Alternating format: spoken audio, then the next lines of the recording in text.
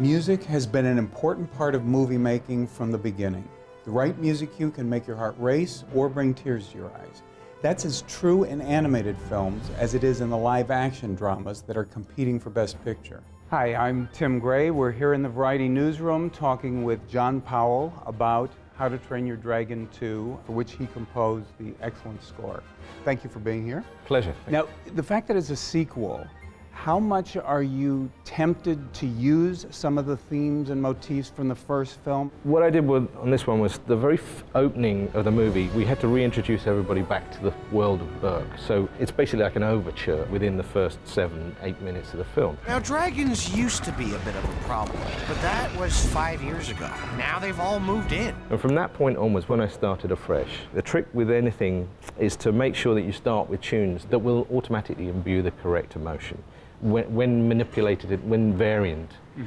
Writing for, for film is really theme and variations. Use several themes and variations of them. And love me for eternity.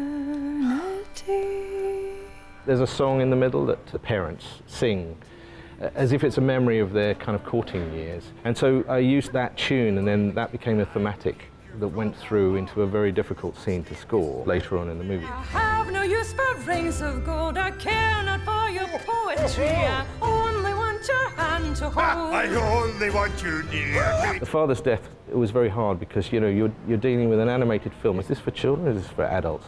And here we have a, a body. And scoring a scene like that, you're looking for the eyes. You're looking for these tiny hints of movement that when animation is great is is the greatest acting ever, I, I feel. It's like having Meryl Streep in all roles. And you can look for the way that the eyes will twitch and, and, the, and the way, you know, just shoulders sag and things.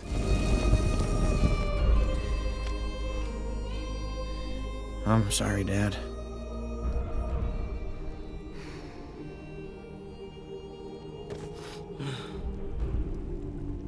I'm not the chief that you wanted me to be. And then there's, there's, another scene in the middle of the movie. I always call that uh, Flying with Mother. And that was hard because they, to the last minute, that, that had been temped with a song. And very near the end, everybody said, we don't think a song's going to work, it has to be score.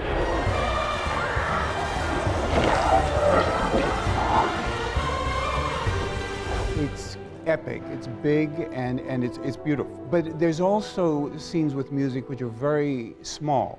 So, what should we name it? Itchy armpit it is. Were those easier to do? You know, honestly, I find it all very hard. I'm exhausted, you know, and I finished it months ago. Every scene has to be considered whether or not you are supporting it or whether you're just bullshitting your way through it, which is actually very easy. I couldn't do it on this one. I cared too much, maybe, or it's just too good a film. Trying to find the right tone for everything was hard. It's a more serious movie. I'm not the peacekeeper I thought I was. I don't know.